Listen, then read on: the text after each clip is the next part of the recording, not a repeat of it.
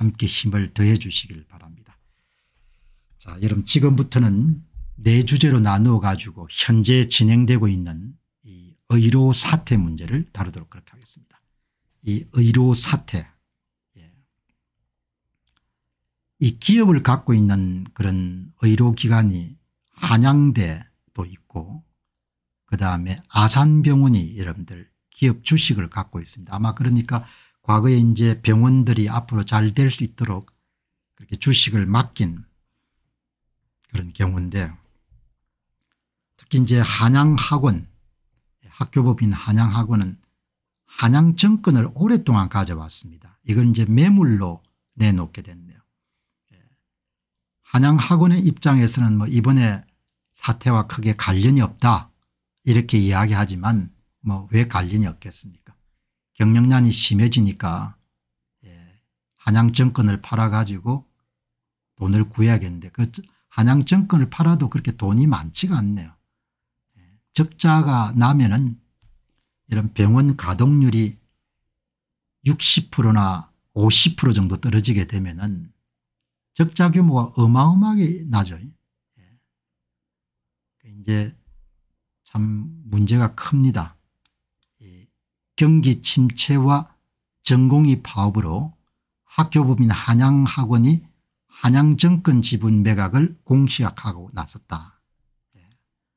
재단이 보유한 한양정권 주식 215만 주를 매각하기로 결정했고 그렇게 매각해봐야 165억밖에 안 되는 겁니다. 165억밖에 안 된다는 이야기는 165억이 큰 돈이 아니라는 이야기가 아니고 적자 규모에 비교해서 어마어마하게 작은 돈이라는 거죠. 현재 사립이든 공립이든 간에 그냥 적자를 메워가는 것이 밑빠진 독에 물을 붓는 것과 똑같은 겁니다. 이제 한양 정권을 매각하게 되면 지분율이 16.29%에 4.99%로 떨어지게 되니까 뭐 지배주주나 이런 부분을 다 내려놓는 거죠. 이제 매각 이유로 재단에서 이제 발표한 내용입니다. 예. 법인과 산하기관의 재정 운영에 커다란 애로를 겪었고 여기 보시기 바랍니다. 대학은 16년째 이어지고 있는 등록금 동결로 재정 운영에 어려움을 겪고 있습니다. 대한민국 사회가 너무 무심한 사회입니다. 예. 대학 등록금을 16년째 이런 묶어도 아무도 이야기를 안 하는 겁니다. 예. 이렇게 이런 가격 통제를 오래 하게 되면 그 산업 자체가 대부분 망합니다. 예. 지금 한국 대학들이 어마어마하게 문제가 많을 겁니다. 16년째 이름들 가격을 다 통제해버린 겁니다. 아마 실제 수입이 대학 교수님의 형편이 없을 겁니다. 조교수 봉급이 한 6천만 원 정도 된다니까. 예. 조교수면 되게 30대 초중반에서 되게 조교수일 건데 의료원은 한양의료원은 기존 병원 시설 노후와 열악한 의료 여건으로 최근 수년간 적자 운영을 면치 못하고 있는 와중에 설상가상으로 전공의 파업까지 겹쳐서 재정이 날로 악화되고 있습니다. 이번에 주식 매각 대금은 각급 학교 전출금과 의료원 지원금으로 사용할 것입니다.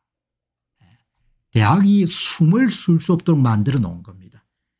수많은 교육부 규제에다가 등록금 동결해 가지고 16년째 완전히 목을 그냥 매놓은 겁니다. 아무도 관심이 없는 겁니다. 정말 대단한 나라인 겁니다. 예. 아마 한국 대학들이 초토화됐을 겁니다. 예. 이렇게 여러분들 지금 돌아가는 겁니다. 그러니까 기사를 딱 보고 제가 하단에 독자들이 남긴 의견을 보니까 15년 넘게 이어지고 있는 대학 등록금 동결 조치가 사학 경영에는 큰 장애 요소가 되고 있습니다. 한양대학교는 저렇게 팔 수 있는 정권사라도 있지만 다른 대학들은 이보다 재정 문제가 훨씬 더 심각할 겁니다. 가격을 이렇게 심하게 규제하면 살아남을 학교가 없을 겁니다. 그러니까 대학 경쟁력이 하락하더라도 어떻게 해볼 도리가 없는 겁니다. 예. 여기 한 분이 16년째 동기란 걸 아마 처음 아셨는 모양이에요. 이제 대학 병원들이 수지가 행편이 없습니다. 제가 여러 번 말씀드렸지만 그렇게 수천억 매출을 하더라도 조금 이익을 남기거나 아니면 대부분 다 적자입니다. 수가 자체가 낮고 그러니까 대학 의대 교수님들의 처우도 그렇게 좋지 않을 것 같아요. 제가 볼 때는. 이렇게 이러면 돈을 못 남기는데 처우를 어떻게 좋게 하겠습니까 그래서 한양대 병원이 여러분들 얼마 하는가 보니까 지금 여러분들 월 한 470억 정도를 보니까 병상 가동률이 50% 떨어지게 되면 은월 여름 대부분 220, 30억 정도 적자가 발생하는 겁니다. 그럼 200억 정도 적자가 발생하게 되면 1년이면 2400억 적자가 발생하는 거죠. 그러니까 이번에 한양 정권을 팔아도 그냥 은발의 오줌 누기하고 똑같은 겁니다. 병원이 정상화되는 것 외에는 다른 대안이 없는 겁니다. 그런데 이 보시게 되면은 지금 한양대 병원의 의료 수입을 경영 수지를 보게 되면은 현재 한국의 대학병원 상황을 알 수가 있는 겁니다. 예. 2022년에 이어서 2023년도 역시 의료 비용이 의료 수익을 앞질렀습니다. 적자가 발생했다는 거죠. 그나마 전기에는 2022년에는 21억 원의 의료 손실에 그쳤던 반면에 2023년에는 적자폭이 커져서 125억 원의 의료 손실을 기록했습니다. 병원에 건강인 의료 서비스를 벌어들이는 금액이 지출에 미치지 못한 셈입니다. 여러분 쉽게 이야기하게 되면 이번 사태가 발생하기 전에 한양의료원이 2022년도에 21억 원 적자 2023년도에 126억의 적자인 겁니다. 그게 이번에 이런 적자가 천억대가 넘어갈 겁니다. 상황이 이름 이렇습니다. 예. 어마어마하게 중요한 겁니다 이게. 특히 교직원 급여와 재료비가 전기 대비 2022년 대비 2023년에 200억 정도 증가했고 의료 분쟁 비용은 두 배로 상승했습니다. 대학병원에서 의료 분쟁이 발생하게 되면 당사자가 아니고 대학병원이 담당해야 되거든요. 그러니까 이런 체제를 가지고 돌아갈 수가 없는 겁니다. 이런 체제 가지고 이런 체제 하에서 여러분들 무슨 전문의 중심의 병원을 하겠다. 다 뭡니까 완전히 구라가 아니고 다 거짓말 꽝들인 겁니다. 이렇게 이러면 돌아가는 겁니다. 그러니까 사람들이 그냥 확확 하고 하지 말고 이렇게 좀 차분하게 예? 지금 대학병원이 어떤지 한국 대학들 상황이 어떤지를 차분하게 볼 수 있어야 되는 거죠. 한양대 병원이 2023년도에 이번 사태 되기 전에 126억 적자를 낸 겁니다. 급여는 계속 올려가고 재료비는 올라가는데 수가는 묶여 있고 수가 1.6% 올려준 겁니다. 될 수가 없는 겁니다. 그냥 돌아갈 수 없고 하면 할수록 적자가 누적될 수밖에 없는 게 지금 이 대학병원인 겁니다.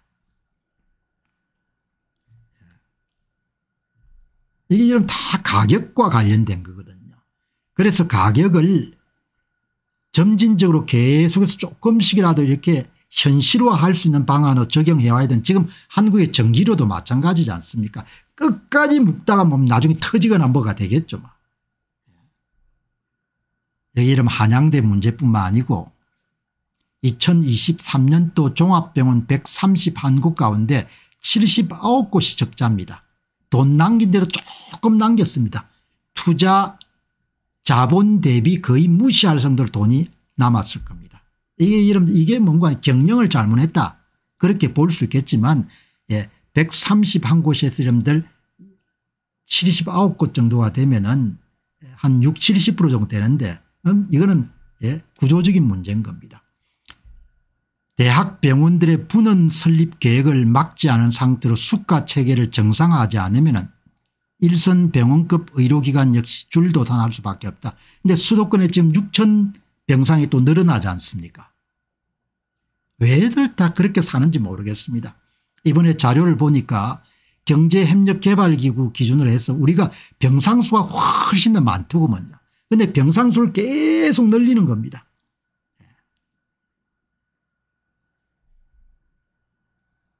수가 체계를 정상화하지 않으면 대학병원 이하급들이 또 다 망한다는 겁니다.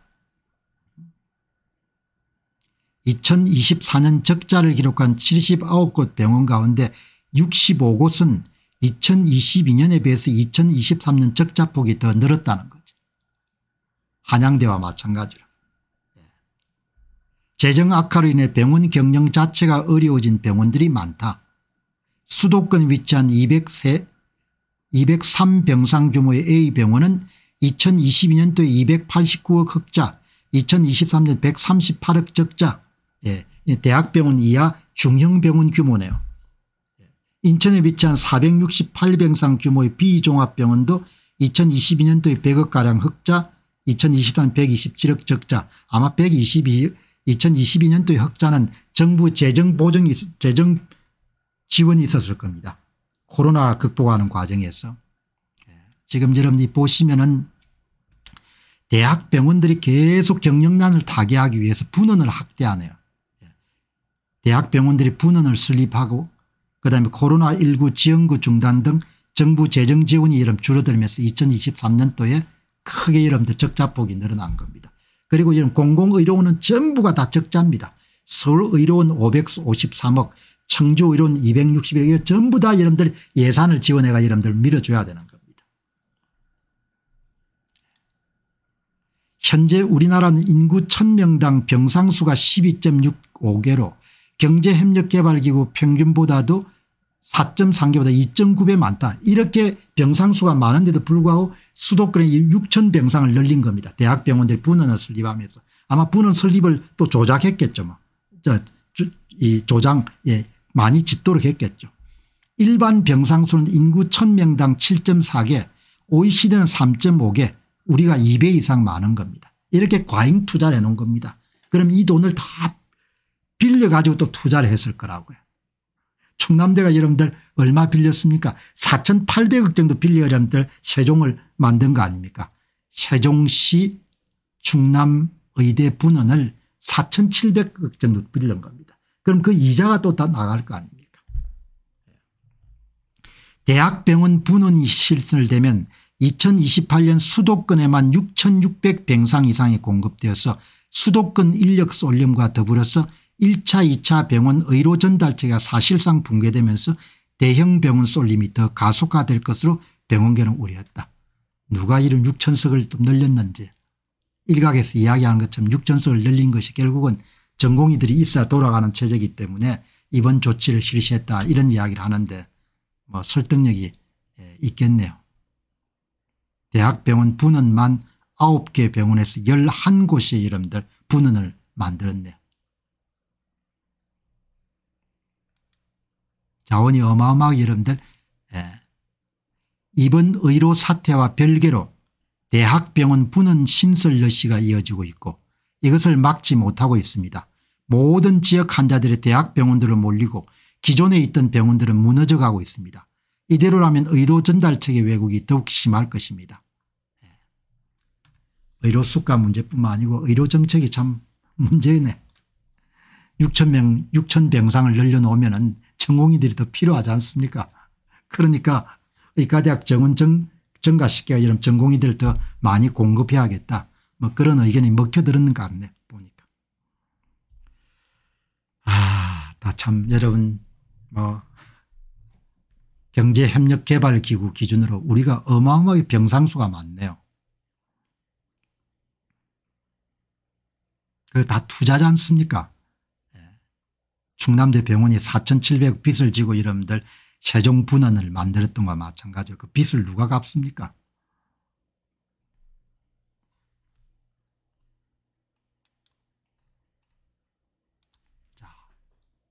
이제 윤 정부가 쓸 수 있는 방법은 전국의 의과대학 교수들한테 행정명령을 내려가지고 전공의 채용 행정명령을 내리는 길밖에 없는 것 같아요.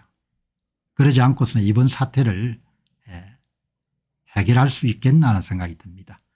예, 전공의 여러분들 채용 행정명령을 내리고 전공이 즉시 원대 복귀 명령을 내려가지고 전부 다 여러분들 다 뭐 원위치 할수 있도록 그렇게 하지 않으면 이게 사실상 해결되기가 쉽지 않겠네요. 성모병원 카톨릭 의과대학교 교수분들이 반발하고 나섰네요. 우리는 대학 당국이 보건복지부에 전공의 여러분들 모집 정원을 요청했다고 하더라도 우리가 전공의를 뽑지 않겠다. 의과대학에. 그러면 이런 방법이 모든 여러분들 의과대학 교수들에게 채용 행정 명령을 내가 전부 다 이런 뽑으라고 이렇게 명령을 하고 몸 안 하면 다 감방에 쳐넣으면 되겠네. 대학 교수들이 면접을 못 보겠다는 겁니다. 하반기 전공이 채용 않겠다. 성모병원 교수들 보이콧 선언 이렇게 나온 겁니다. 도제관계를 전혀 이해를 못하는 겁니다. 전공의들하고 의과대학 교수가 예, 도제 관계 사제지간 예, 서성과 제자 관계라는 것을 못 받아들이겠다는 거 아니에요. 그걸 이해를 못하는 겁니다. 보건복지부 장차관께서. 그래서 이런 현상을 정확하게 이해할 수 없기 때문에 계속 무리수가 나오는 겁니다. 예. 의과대학 교수 전문의 전공의 사이에 도제관계 예, 서성제자관계의 실체를 정확하게 이해할 수 있으면 이번 사태가 참 해결되기가 쉽지 않겠구나 그런 걸 느낄 수가 있는 겁니다. 자기 제자가 여러분들 부당한 방법으로 밖에 쫓겨나가고 있는데 그래 고생을 하고 있는데 사람을 뽑아 이름 그 제자가 돌아올 수 있는 자리를 없애버리겠다. 그렇게 여러분들 하라는 거 아닙니까 정부가. 그렇게 안 하면 불이익을 주겠다는 거 아닙니까 내년도에 티어를 못 받는다. 카톨릭 중앙의료원 산하 성모병원 교수들이 전공의 채용에 대한 보이콧 거부를 선언하기로 했다. 이로써 정부가 사직한 전공의대 자리를 채우려고 세운 하반기 채용 계획이 난관에 부딪힐 것으로 보인다. 카톨릭 의료원 국계 전공 분야 교수들이 9월 전공의 채용 보이콧 의사를 명확히 밝혔다. 특히 필수과가 전부 다 동참한 겁니다. 필수과인 외과 산부인과를 포함해서 영상의학과 이비인후과 등 전체 채용 규모의 40% 수준인 것으로 알려졌다. 그러니까 40%만큼의 여러분들 진로과가 신규 모집을 우리는 안 하겠다는 겁니다. 내과 등 다른 과도 참여를 검토하고 있다. 예. 비대위원장은 전공의들이 사직서를 낸 것은 정부의 잘못된 정책에 대한 항의 표시였는데 이들을 일괄 사직 처리하고 그 자리에 새로운 사람을 뽑아서는 안 된다. 집에서 자식이 어디 여행 갔다고 그 방에다가 세입자를 새로 들이지는 않지 않는가.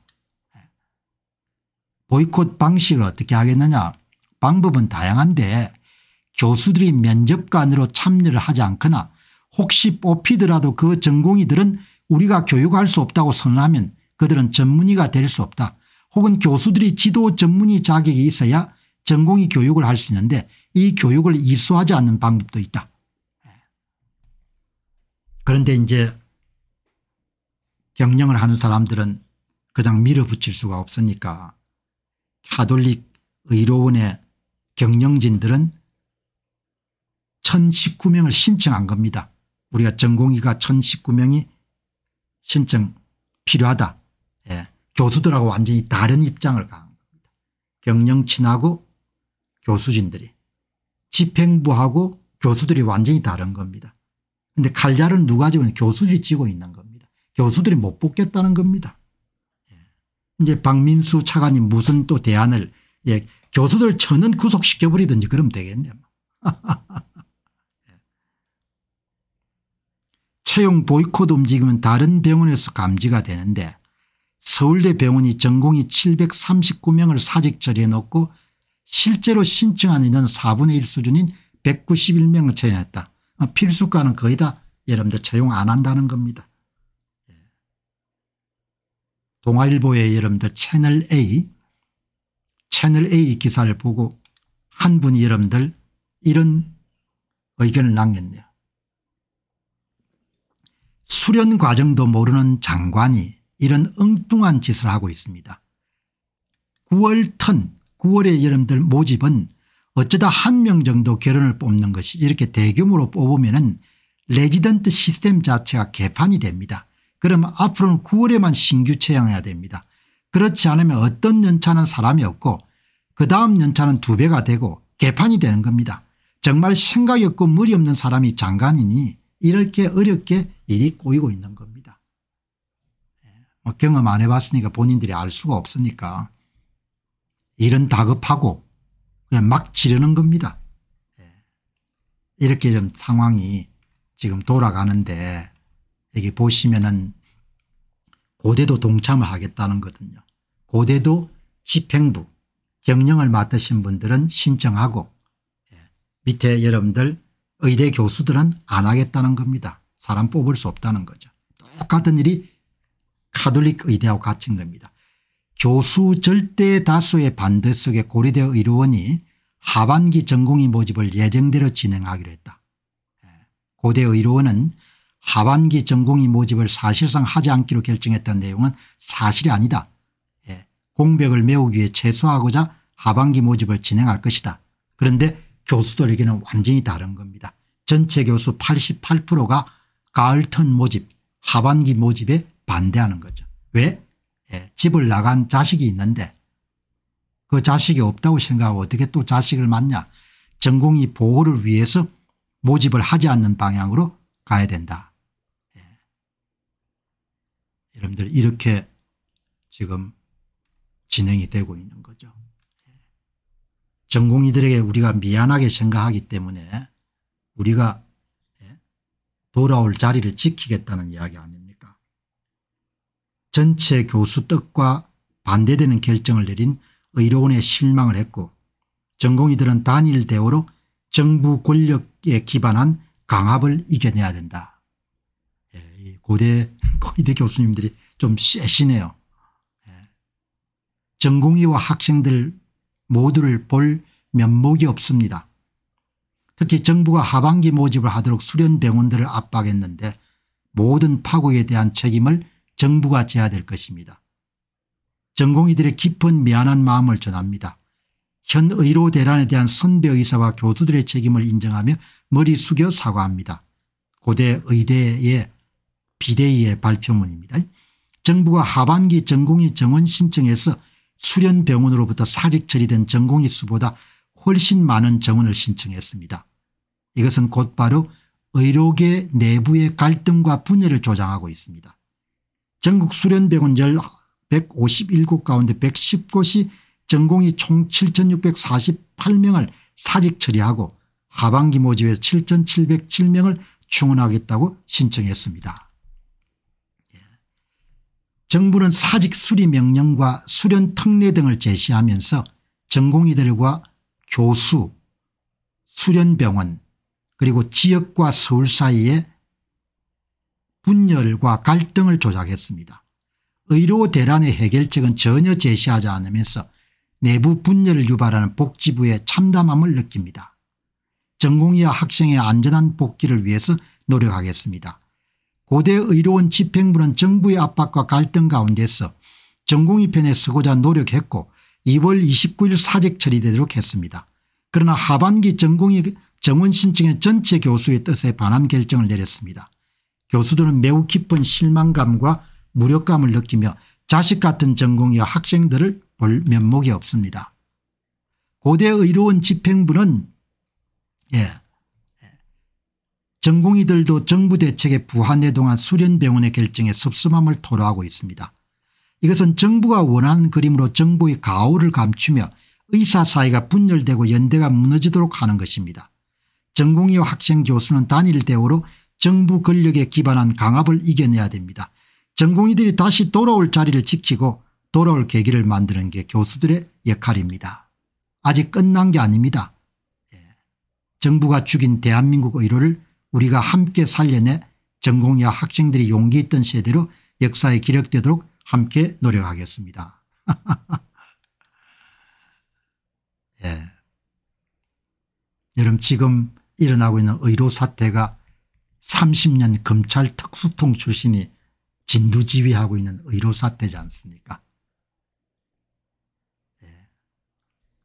본인들이 인생을 어떻게 살아왔는지 지금 다 보여주고 있지 않습니까 젊은 의사들을 어떻게 건박하고 협박하고 본인들이 저지른 이런 엉터리를 6개월이 예? 지난 때까지 여러분들 뭡니까 그게 엉터리가 아니라고 강변하는 거지 않습니까 제가 지금 권력에 핵에 있는 사람들과 동갑 세대로서 엄청난 참담함과 미안함과 부끄러움을 느낍니다. 예. 남조선에서나 가능한 일을 지금 하고 있는 겁니다. 음. 국민의 모두는 예, 헌법적 기본권을 보장받고 보호를 받아야 될 존재지 탄압의 대상이 돼서는 안 되는 거죠. 예. 지금 일어나고 있는 일은 남조선에서나 일어날 수 있는 일이지 대한민국에서는 일어날 수 없는 겁니다. 왜냐하면 대한민국은 국민이 있고 국민은 뭡니까 헌법과 법률의 보호를 받아야 될 존재지 예.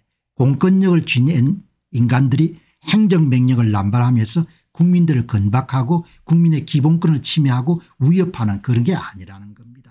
나는 그런 꼰대들 퍼런저럼들 민방위 복을 입은 그런 꼰대들의 같은 세대라는 부분에 대해서 참담함과 미안함과 안타까움과 부끄러움을 금할 수가 없는 겁니다. 제가 부끄러움을 대속하는 의미로 이 방송을 그래도 4개씩 계속해서 다루는 겁니다.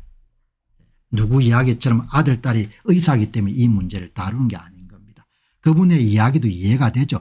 워낙 도둑놈들이 다 지 이익을 위해서 이런들 도둑질을 하는 걸 봤기 때문에 공병을 한 인간도 도둑질을 자기 자식을 위해서 한다고 그렇게 생각할 수 있을 겁니다. 나는 아들 딸이 의사가 없고 설령 의사가 있더라도 그들을 위해서 그렇게 일을 하는 사람 아닌 거죠. 예. 아무튼 간에 예. 그래도 카톨릭 의과대학이나 그다음에 서울대 의대 고려대 의대 교수분들께서 힘을 실어줘서 굉장히 다행스럽고 뭐 당연한 일이죠. 예.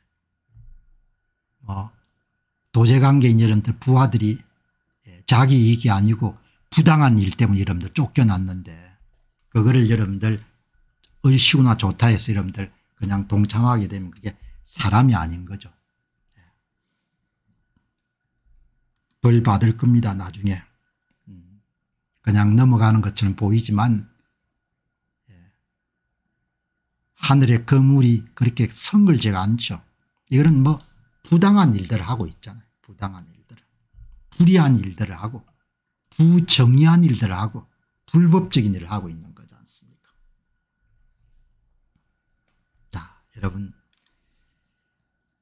다른 것보다 이 응급의료체계 광역 응급 권역별 응급의료센터 예, 이게 이제 참 보면은 화전민 국가 경영이다 이런 표현을 썼는데 예, 나라가 참 나라답지가 않습니다.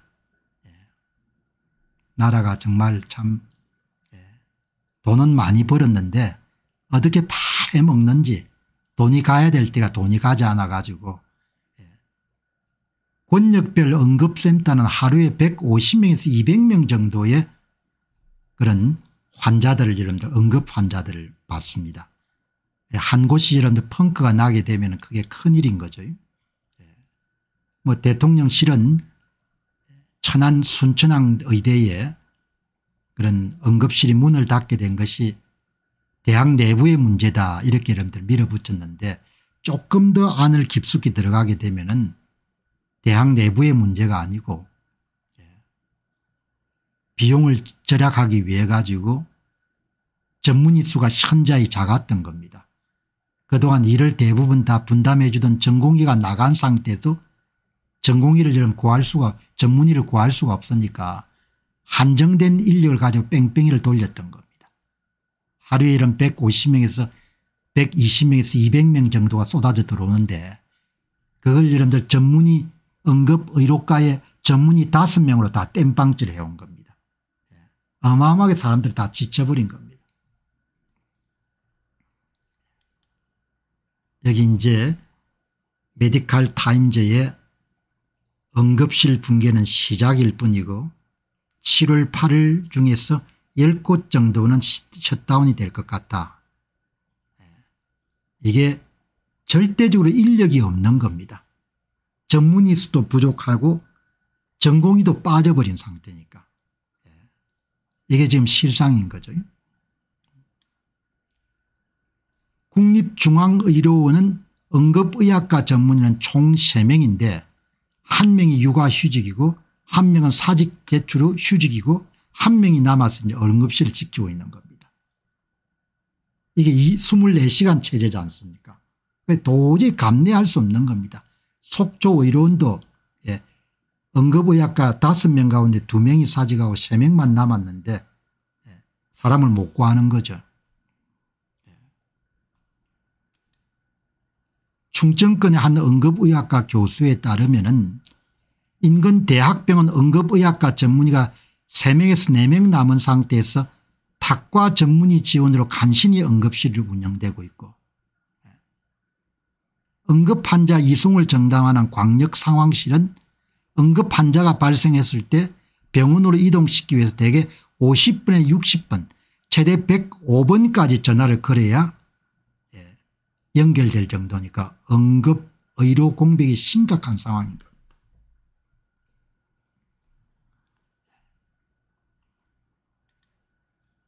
수련병원 응급의학과 교수들은 다음 달 전국의 응급실이 멈춘다 하더라도 이상하지 않습니다. 둑이 무너지면 걷잡을 수 없을 것입니다. 응급실 의료진을 유지하며 그나마 버티고 있던 수련병원들도 전문의들이 한두 명 이탈할 시 시작되면 언제라도 응급실 셧다운에 빠질 수 있습니다. 예, 아직은 버티고 있지만 한계에 가까워오고 있습니다. 센터장이나 과장급 교수들까지 도저히 체력적으로 버티지 못해서 사직을 심각하게 고민하는 실정입니다. 어제 여러분들 말씀드렸던 연세대학교의 그 홍 교수님 예, 기고하셨던 홍 교수님도 이번에 사표를 냈다고 누가 이렇게 적었네요. 한번 확인을 해봐야겠네. 예. 경무 같은 것이 큰 원인이 되지 않았나 생각이 드는데 이 문제를 여러분들 그냥 조금 더 상세하게 알기 위해 가지고 대한응급의학의사회의 이 형민 회장 이야기를 들어보게 되면 전체를 알 수가 있는 겁니다. 핵심이 뭔가 하니까 예. 돈은 안 되고 수가는 낮고 의료소송 부담은 크고 하니까 병원 측에서 숫자 자체를 줄여놓은 겁니다. 그러니까 도저히 쏟아져 들어오는 이런들 환자를 3명 4명이 받을 수가 없는 겁니다. 그러니까 지금 이 이형민 회장의 말씀은 충청권에서 좀 중요한 역할을 수행하고 있는 청, 천안 천안의 여러분들 순천항 병원에서 다섯 명의 전문의만을 가지고 응급센터를 운영하는 거가 이 회장님 말씀으로는 절대적으로 감내하기가 불가능할 정도의 부담이 주어진다는. 사람이 더 늘어나야 된다는 겁니다. 어떻게 다섯 명을 가지고 여러분들 응급센터를 돌릴 수 있냐. 그건 사람을 완전히 그냥 탈진시키는 일이다. 이렇게 이야기를 하는 겁니다. 이번에 이제 충남 천안 순천항 병원의 문제를 정치권 인사들은 아, 별 문제가 아닙니다 이렇게 하지만 사정을 잘 아실 거 아닙니까 예.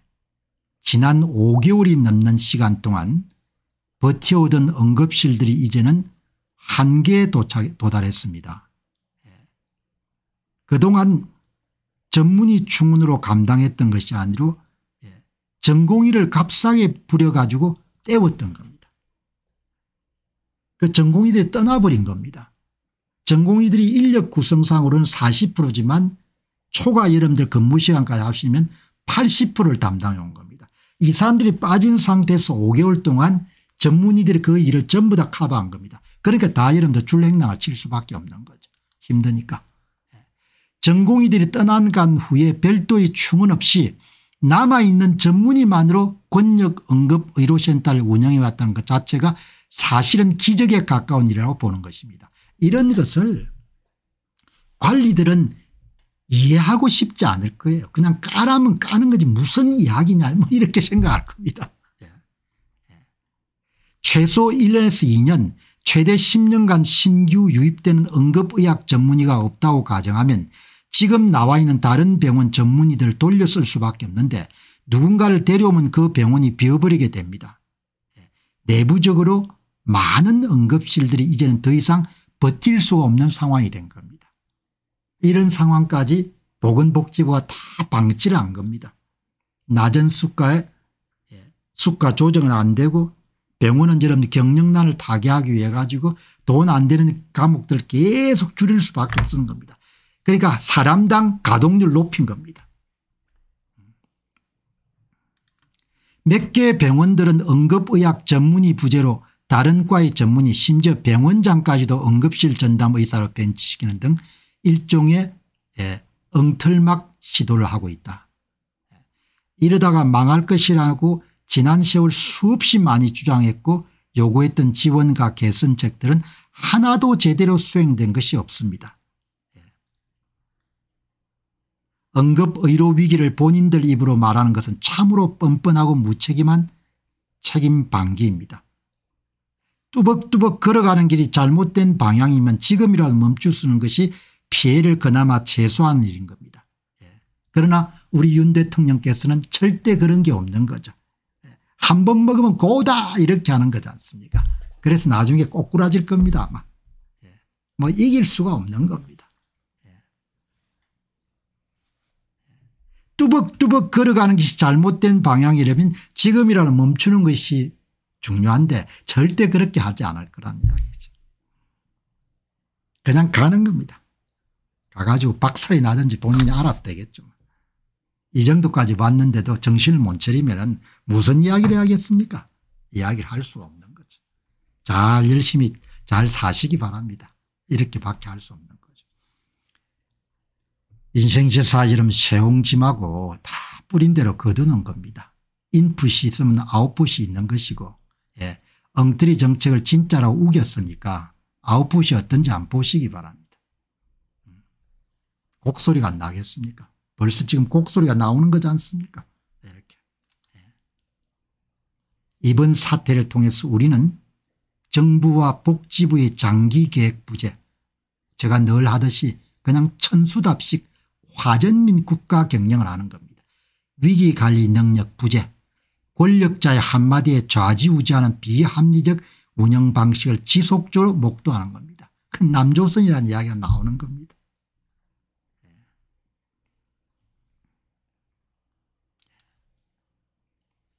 응급의료의 붕괴 조짐은 이미 수년 전부터 시작되었고 수차례 경고했지만 무시되어 왔습니다. 손바닥으로 하늘을 가릴 수 없듯이 응급의료는 이미 한계 상황이 붕착했고 이번 일이 붕괴의 서막을 알리는 신호탄이 될 수도 있습니다. 예. 뭐 필수 의료도 거의 시차를 두고 비슷한 문제에 봉착해 있다. 이렇게 보면 안 되겠습니까 자 여러분들 오늘 방송하다 보니까 시간이 많이 됐네요. 예.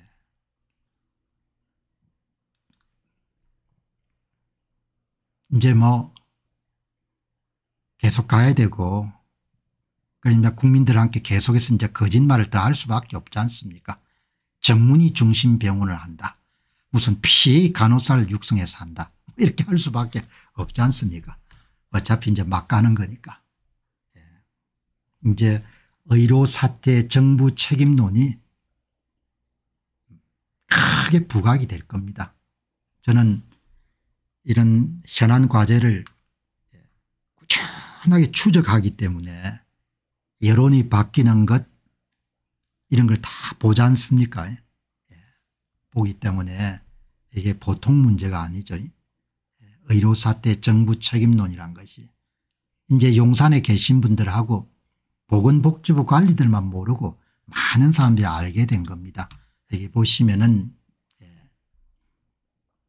의대 교수들 단체들이 전국의과대학 교수협의회 전국의과대학 비상대책위원회 수련병원 교수 대표 예, 이분들이 이제 예, 의견을 모아 가지고 의견서를 발표했는데 여기 본문을 보지 않더라 핵심이 다 정리가 되어 있습니다.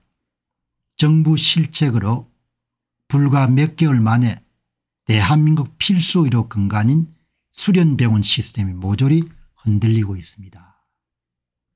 여러분 특별하게 더 설명 안 하더라도 현장에 있는 분들이 이렇게 한 문장으로 정부 실책으로 불과 몇 개월 만에 필수 의료 근간인 수련병원 시스템 모조리 뭡니까 예, 뿌리째 뽑아놨다는 겁니다.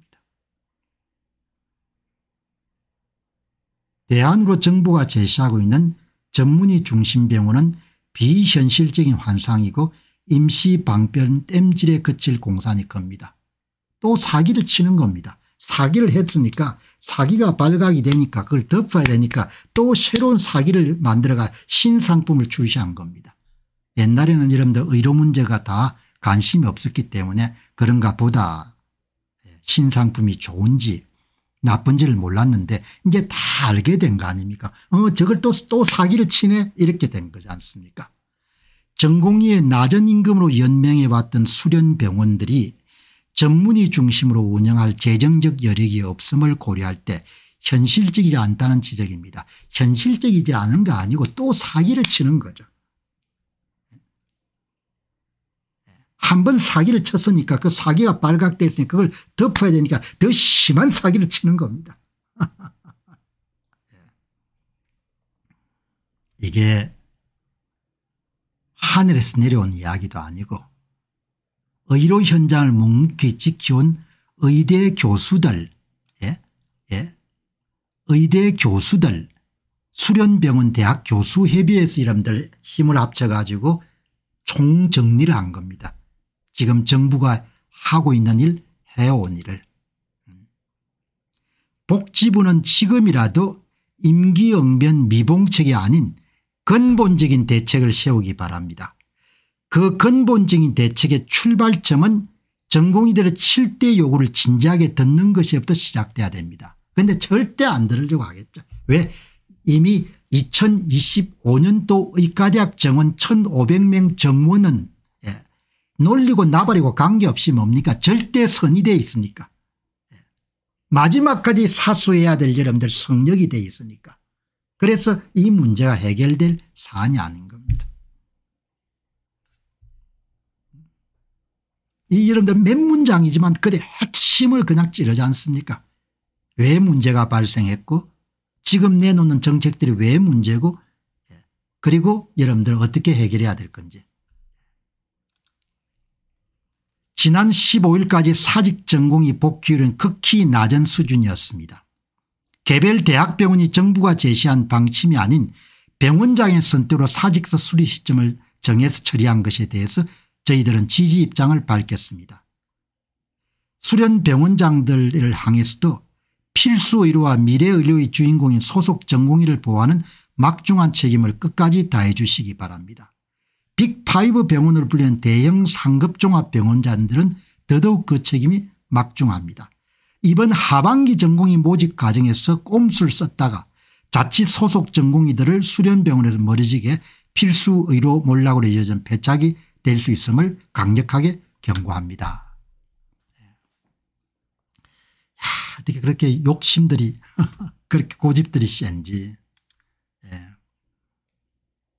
저도 뭐 지금 이제 정책을 쓰고 있는 사람들과 동갑 또 조금 더 나이가 더 들은 세대지만 뭐 사람이 이렇게 실수도 할 수 있고 하니까 상황이 바뀌고 새로운 정보가 이렇게 입수가 되면은 그것에 맞춰서 이렇게 고칠 수가 있어야 되는데 그거를 참 잘 못하고 취임 이후에 윤 대통령 행보 언행을 이렇게 가만히 이렇게 관찰자 입장에서 보게 되면은 홍준표 시장께서 말씀하신 것처럼 고집이 아주 센 분 같아요. 예, 홍준표 시장은 덕담처럼 고집이 셌으니까 지금까지 왔지 않겠느냐 이렇게 호의적으로 평가하지만 지도자가 소신을 갖는 거하고 그냥 고집을 피우는 건좀 다르지 않습니까 예. 소신을 갖고 뭔가를 꾸준하게 이렇게 밀어붙이는 거하고 그냥 마구잡이로 고집을 뿌리는 거하고 다른데 이번에 의료 사태는 제가 초심자 입장에서 예, 이 의료 문제를 보도하기 위해서 하나하나 이런 자료를 들추게 보는 과정에서 이거는 윤 대통령께서 예, 좀더 빠르면 빠를수록 양보를 하실수록 자신을 구하고 나라를 구하고 국민들을 구하는 일인데 이 부분에서도 홍준표 시장께서 말씀하신 것처럼 끝까지 고집을 부리게 되면 예, 그 결과는 제가 볼 때는 그냥 파국이 될 걸로 저는 보거든요. 그냥 넘어갈 수가 없는 거지 않습니까 오늘 방송을 여러분들 마무리하기 전에 의료 문제와 관련해서는 방송이 나가고 나면 제가 전부 다 꼼꼼히 읽어봅니다. 예. 영상 보시고 어떤 의견들 필요하시는지 그것이 현장을 이해하는 데 굉장히 도움이 되기 때문에 몇 분 말씀만 여러분들 보고 오늘 방송을 마무리하도록 그렇게 하겠습니다. 나이 든 사람들이 젊은이들한테 도대체 무엇을 가르치는지 예, 참 안타깝습니다. 사직 처리한 전공의들이 인기과 자리에 탐이 나면 들어오라고 내 앞날 위해 다른 사람 아픔을 몰라. 절대 순리를 벗어난 일은 성공하지 못하는 것은 진리입니다. 참 대단한 갈라치기입니다. 박민수 차관이나 조경 장관이나 윤 대통령께서는 제가 간곡히 부탁드리고 싶은 것은 낱마처럼 일이 꼬이면 꼬일수록 올바른 길을 걸어야 되는 거죠. 정도를. 예, 정도를 걷지 않고 편법을 쓰고 속임수를 쓰고 그렇게 하면은 그게 해결이 될 수가 없는 겁니다. 예. 지난 여름 4개월 동안 그런 일들이 반복돼 왔는데 오늘 여기 분이 지적하는 것이 예, 그렇게 해서 안 된다는 겁니다. 세상 일이 세상 사람들이 그렇게 어리숙하게 보일지 모르지만 그렇게 가서는 안 된다는 말씀을 하는 겁니다. 조만간 서울대 병원 등 분원입니다. 분원을 확장해 가지고 11개 대학병원이 수도권에 6600병상의 병원을 준공해야 되는데 병원장들이 전공의들이 필요하다고 해서 최저시급만 주는 전공의들을 대거 투입해 주려고 의료 계약을 한다고 얘기를 해야죠. 처음에 시작할 때는 지방의료를 살리고 공공의료를 많이 짓는다고 했는데 예, 이분이 이야기는 육전 병상은 이미 건설이 거의 다 마무리됐고 그럼 육천 병원에 투입될 예, 전공의들이 필요하니까 예, 의과대학 정원은 늘려가지고 했다 이렇게 이야기를 하는 게 더 솔직하지 않느냐 이렇게 이런 반론을 제기한 겁니다. 기획재정부가 돈이 없어서 그냥 부도 처리하지 않을까 생각이 듭니다. 국립대학 병원들은 다 적자가 나고 있습니다. 그것을 다 메꾸려면 수조의 돈이 더 나가리라 봅니다. 좀 메꾸다가 항복하지 않을까 싶습니다. 여러분 적자 나면 은 감당하기 힘듭니다. 그것도 여러분들 적자가 한 군데서 나는 것이 아니고 여기 수련병원들이 100곳이 넘으니까 100몇 군데 여러분들 적자가 발생하면 그걸 어떻게 할 겁니까 어마어마하게 무서운 일이거든요.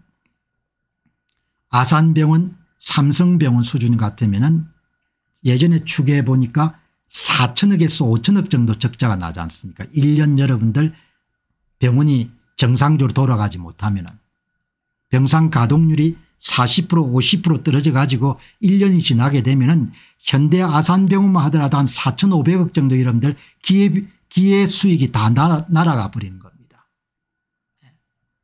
그럼 그걸 다 짓게 하게 되면 수십 조가 될 거라고. 그걸 어떻게 감당할 겁니까?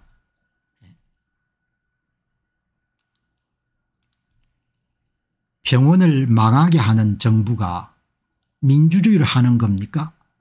전체주의를 하는 거죠. 이게 뭐 하자는 겁니까?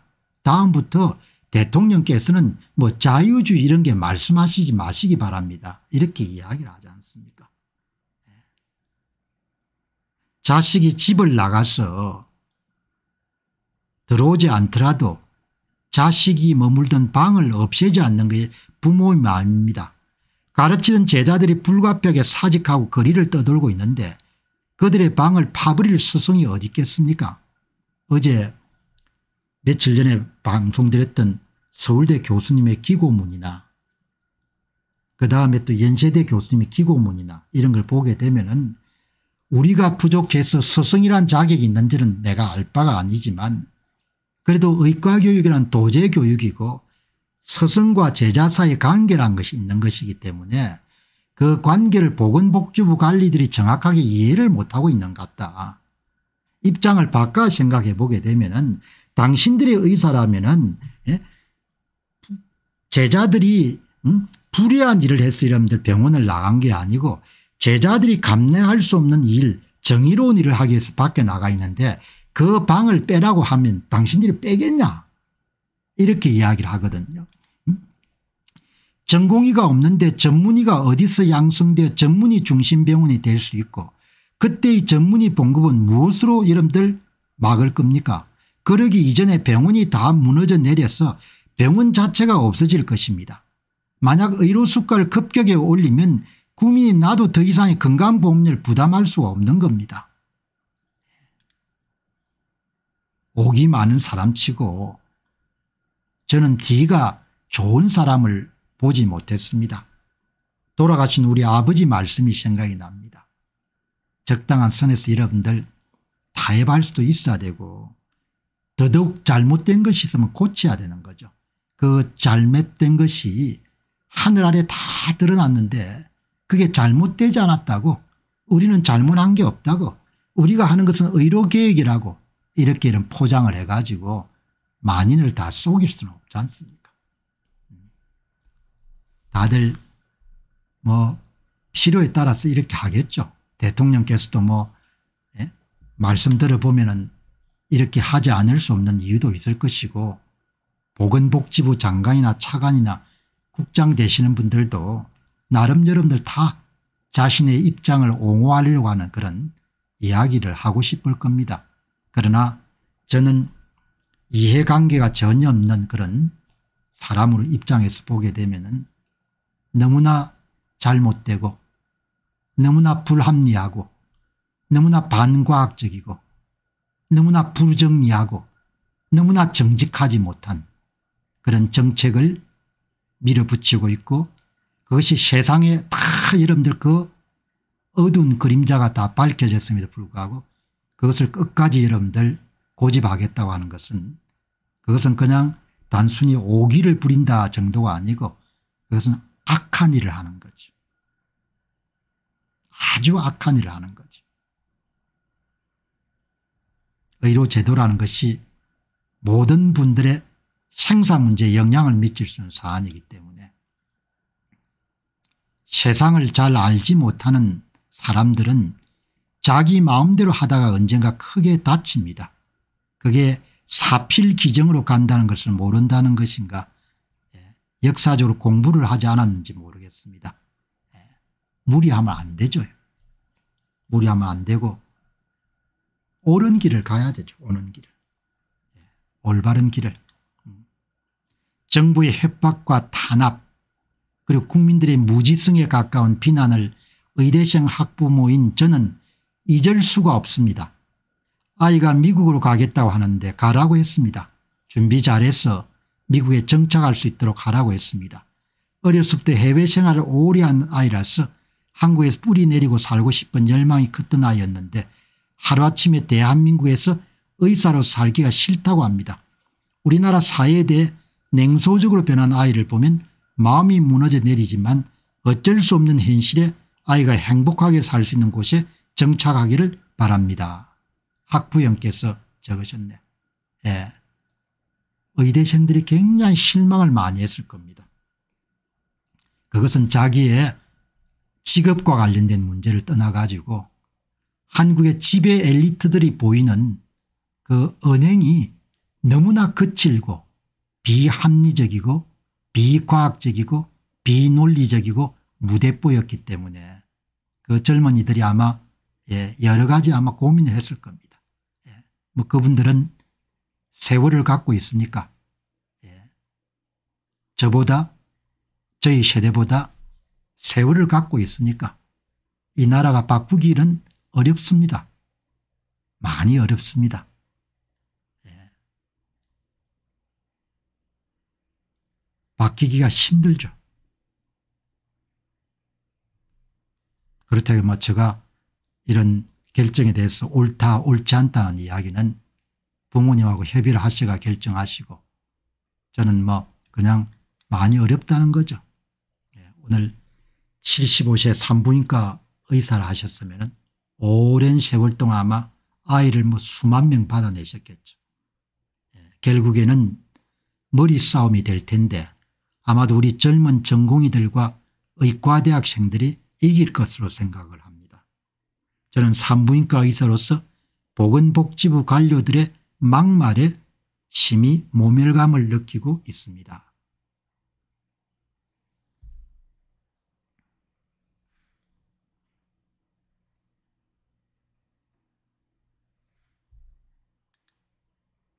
피해의 간호사가 전공의를 대신해도 전문의 수련이 안 됩니다. 수술장에서 배우는 과정이 있어야 전문의가 배출이 됩니다. 대학 병원은 의대생 전공의를 잘 교육해서 우수한 전문의 박사 배출하는 교육병원입니다. 학생과 전공의가 없으면 상급종합병원 존재 가치가 없어집니다. 전문의 중심 상급병원은 될 수도 없고 되면 바로 영리병원화 될 수밖에 없습니다. IMF 때도 그랬습니다. 국가는 마지막 순간까지 숨기기에 바빴습니다. 크게 변한 게 없습니다. 정직함이란 덕목을 이렇게 잊어버리게 되면 국민들에게 끊임없이 마지막까지 거짓말하는 거죠. 이게 국가입니까 깡패입니까 아무런 노력 없어도 세금이란 수익이 죽으라고 일하는 민간기업의 수익보다 좋고 조그만 수 틀리면 각종 명령과 공권력과 위협을 가하는 깡패가 아니고 뭐겠습니까 이제 국가와 국민은 새로운 계약이 필요합니다. 네. 다른 것보다 윤 대통령이 저와 동갑내기니까 79학번들이지 않습니까 1960년생 우리 나이로 이제 64세가 되는데 예. 이번 의료 사태를 추진하는 걸 보면서 조기용 장관이나 박민수 차관은 윤 대통령보다 나이가 훨씬 더 아래신 분들이죠.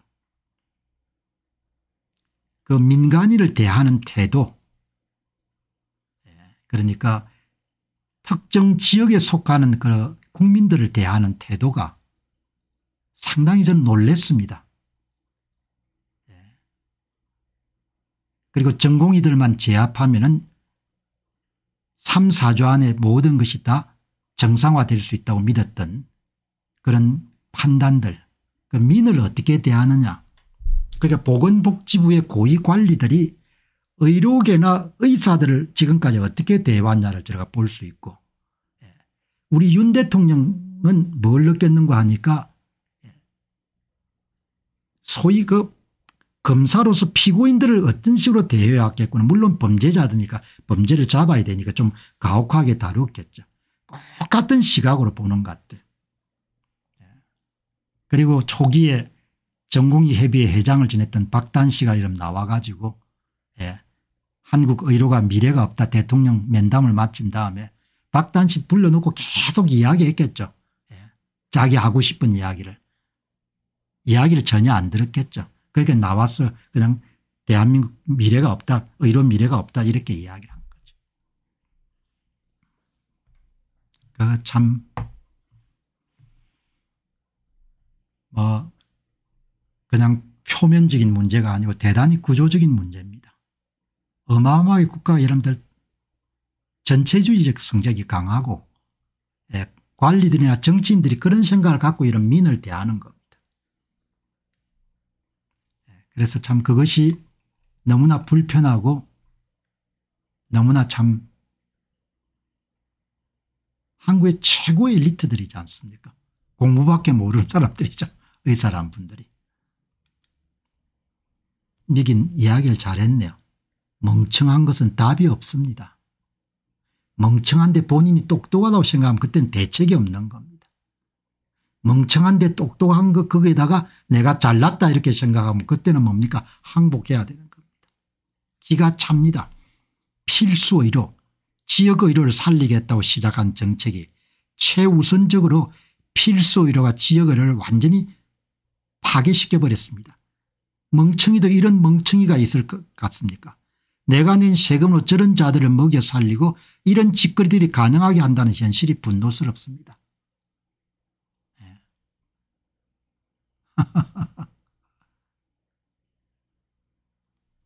기가 찬 거죠.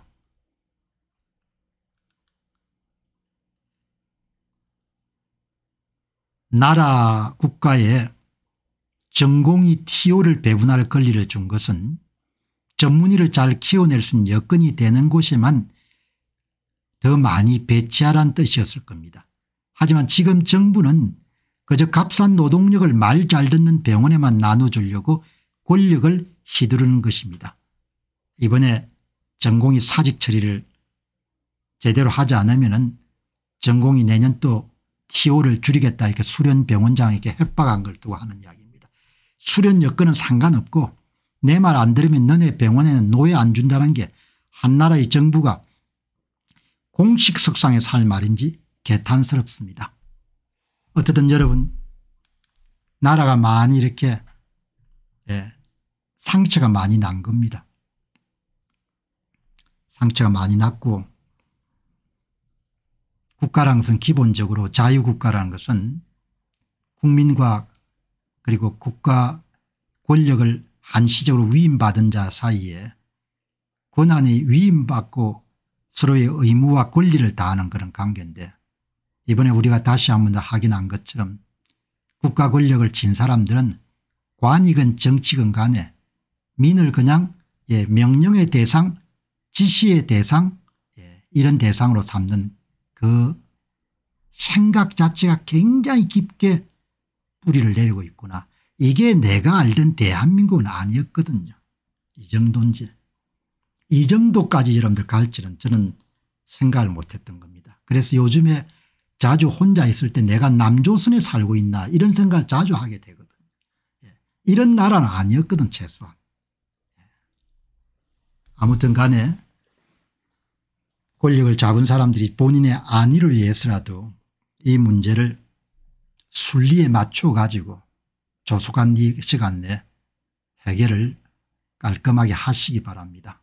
그러지 않고 고집을 계속 부리게 되면 은 뭐 미래 일은 누가 알겠습니까만은 이 여러분들 부작용이 예, 그냥 가을 들녘에 여러분들 들불처럼 번져가지고 나중에는 예, 행위 주체자들에게 바로 타격을 입힐 수가 있으니까 합리적으로 그렇게 예, 순리대로 올바른 쪽으로 그렇게 문제를 해결해 나기를 기대합니다.